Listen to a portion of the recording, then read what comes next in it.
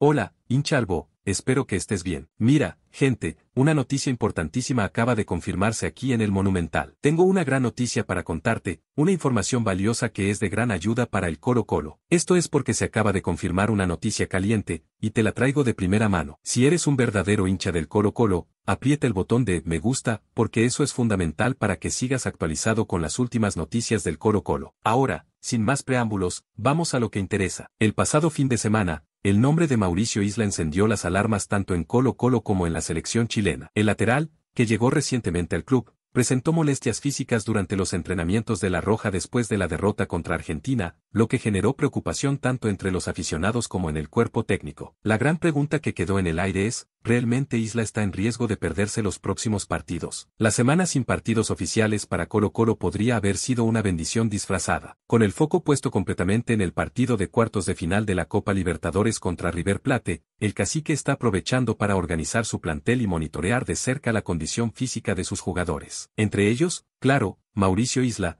quien desde su llegada al Estadio Monumental se ha convertido en una pieza clave para el técnico Jorge Almirón. Aunque las primeras noticias sobre la situación de Isla fueron preocupantes, las últimas actualizaciones indican que el Guaso debería estar disponible para el próximo partido de la selección chilena contra Bolivia. Esto significa que, al parecer, su participación en el decisivo enfrentamiento contra River Plate por la Libertadores está prácticamente asegurada. Pero, ¿pueden los hinchas respirar tranquilos? Isla llegó a Colo Colo a principios de agosto, y su experiencia internacional rápidamente lo hizo indispensable para Almirón. En solo cinco partidos, ya acumula 357 minutos en cancha, ya sea en el campeonato nacional o en la propia Libertadores. Aunque aún no ha marcado goles ni ha dado asistencias, su impacto va más allá de las estadísticas, su liderazgo y seguridad en defensa son fundamentales para el esquema táctico del equipo. Y hablando de táctica, Jorge Almirón ya comienza a planificar los desafíos de septiembre, que prometen ser intensos. Además de la batalla contra River Plate, el eterno campeón también deberá enfrentar a Cobresal por el campeonato nacional, un partido clave para mantener la presión sobre Universidad de Chile y pelear por el liderato de la competencia. Ahora, hincha, la gran pregunta es, ¿crees que Isla estará al 100% para los enfrentamientos decisivos? ¿Será capaz de mantener el nivel de juego que lo trajo a Colo Colo? Y lo más importante, ¿está el cacique listo para los desafíos que vienen, tanto en la Libertadores como en el Campeonato Nacional? Comenta abajo lo que piensas. Queremos saber tu opinión. ¿Será Isla el factor diferencial en estos momentos clave o crees que Colo Colo debería buscar otras alternativas para reforzar la defensa? Discutamos.